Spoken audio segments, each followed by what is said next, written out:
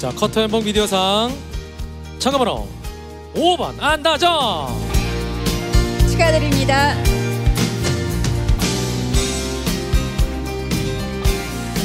어, 참 신기하게도 시상자분이랑 수상자분이 얼굴이 비슷하십니다. 계속. 네. 어떻게 해요?